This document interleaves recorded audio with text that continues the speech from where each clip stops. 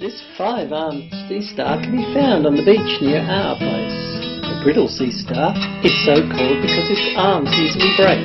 The 11-armed sea star are often caught by local fishermen on their fishing line. This lovely sea biscuit can be found hiding in the rocks, along with one of his cousins, this time an orange sea biscuit. When turned over you can see underneath the orange sea biscuit that it has many tiny feet which help it move.